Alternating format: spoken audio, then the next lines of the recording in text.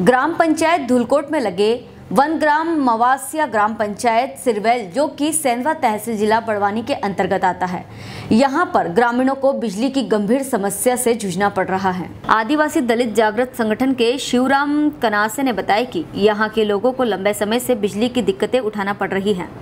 संबंधित अधिकारियों का इस और कोई ध्यान नहीं है। ग्राम के श्याम सोलंकी राजा राम जाधव, राहगिया सोलंकी, सकाराम खरते सोमारिया सोलंकी ने बताया कि हमारे गाँव में 200 से 250 परिवार निवास करते हैं। यहाँ पर विद्युत ठेकेदार द्वारा कुछ ही पोल लगाए गए हैं। इस बीच ठेकेदार ने पोल की बचत करते हुए हरे पेड़ों और सैकड़ों लकड़ी के खंभों पर ही सिंगल फेस की लाइन बिछा दी, जिससे ग्रामीणों को आए दिन हादसों का भय बना रहता है। कुछ सीमेंट के पोल लगे हैं तो भी जर्जर हो चुके हैं। पूर्व में भी हरे पेड़ पर विद्युत लाइन से बकरी और बैल की करंट लगने से मौत हो चुकी है। नाटिया के घर के ऊपर से जा रहे मुख्य विद्युत तार को ज्वाइंट कर जोड़ा गया है, जो कभी टूटकर हादसे को न्योता दे सकता है। इस संबंध में सेंधवा विधायक ग्यारसी लाल रावत का कहना है कि मेरे संज्ञान में ये मामला नहीं है। जानकारी जुटाकर उचित कार्यवाही की जाएगी। खरगोन से जयंत गुप्ता की रिपोर्ट। हमारे ये समस्या है, ये हमारे गाँव में में जो पोल डाले, लाइन आई है तो लाइन आई है तो वो लाइन पे जब टूटेल फुटेल खंबा कर दिया और लांगी तार कर दिया जो रोड पे था उनके पास थोड़ी थोड़ी केबल कर दी और नांगी तार कर दी। कितना समय होगा ये लाइन डाले लाइन डालेल तो दो हज़ार अठारह में दो हज़ार अठारह की डाले थी। तो अधिकारियों को इस बारे में अवगत कराया था? हाँ करे तो ये रहे हमारे पास कागज़ गया था बिजली ऑफ़िस में उनको बोला था कि हमारे गाँव के अंदर ये नांगी तार तुमने लगा दिए तो कोई व्यक्ति मर जाएगा कोई किसी का बैल बकरी मर जाएगी, उसकी हमको ज़िम्मेदारी होना। नहीं तो फिर ये केबल तार डालो करके हम ऑफ़िस में गए थे, बिजली ऑफ़िस में गए थे तो ये कागज़ बना के दिए थे उनको। तो वो बाबूजी लोग थे तो वो बोले कि वो सांप आएगा, उसको बताएँगे, हम ऐसा बोल दिए थे वो लोग।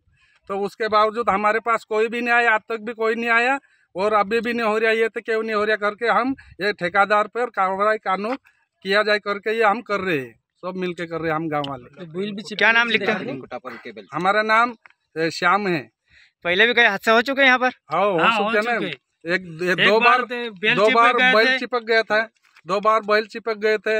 एक बार वो घर वाले के सुमारे भाई के बकरी लटक गए थे नांगी तार में। लाइन भी सही समय पे नहीं आती होगी नहीं आती पर? नहीं आती।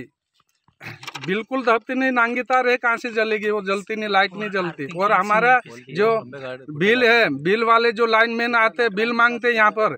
बिल का भी कागज़ आयल है। हाँ, खुद है और खड़े भी हमने पोल नहीं किया सिर्फ़ ठेकेदार ना फिटा इतनी किए और वो आठ आठ सौ रुपए के फूल का लिया हमारे पास। और काम भी करवाया काम भी करवाए पूरे हम गाँव वाले काम करे। तो ठेकेदार साथ में मजदूर लाया था कि नहीं? नहीं नहीं मजदूर कोई नहीं सिर्फ़ उसका आदमी एक या दो रहता है सिर्फ़ फिट करने का इतना उनका।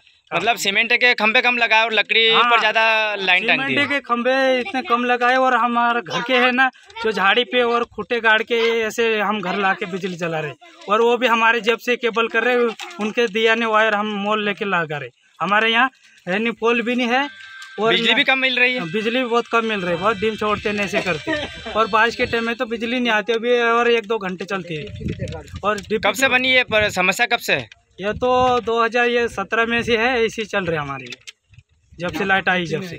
अधिकारियों को इस मामले में अवगत कराया था? हाँ करवाए थे तो वो भी कुछ नहीं सुनवाई नहीं किए।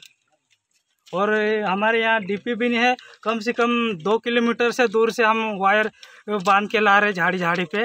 पोल भी नहीं है ना कुछ नहीं है हमारे यहाँ। क्या नाम लिखते हैं? हमारा नाम नानटा डुडवे है। हेलो फ्रेंड्स आप देख रहे हैं हमारा channel S W twenty four news हमारे सारे वीडियो सबसे पहले देखने के लिए आप हमारे चैनल को सब्सक्राइब करें और पास में लगे बेल आइकन को दबाना बिल्कुल भी ना भूलें।